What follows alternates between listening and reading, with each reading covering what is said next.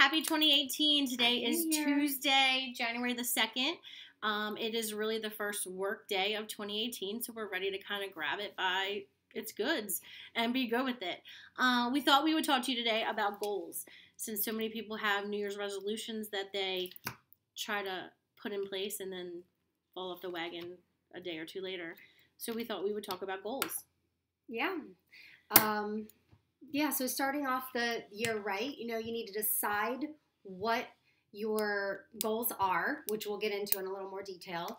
And then you've got to create the momentum to keep it going. And the most important thing that we've also found with each other is, Don't go at it alone. yep, Accountability. yep, Have a partner.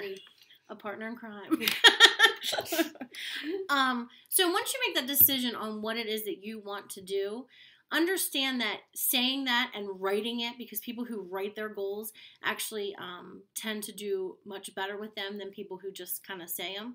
Um, but once you make your mind up on it, it's kind of cool because the world kind of conspires to make it happen.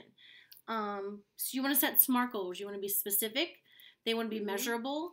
You want to um, be able to achieve them. Like, how are you going to do that? You want to be realistic with results, and you want to put a time frame on them. So think about those things. Mhm.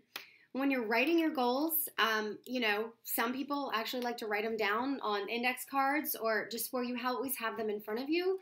If you need to tape them up on your bathroom bathroom mirror, then do that. Something to keep reminding you every day, and then it kind of you're reading them back to yourself every day and helping to affirm it. Right. Um, So we think that what we should do is start with small term, short term things. If we can do it one day and then do it the next day, you know. So Mhm. we're going to break ours down into 10 day goals right now.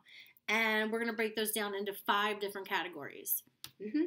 Categories that, um, so we can break them down and have it to be specific, are spiritual, business, family, financial, and personal.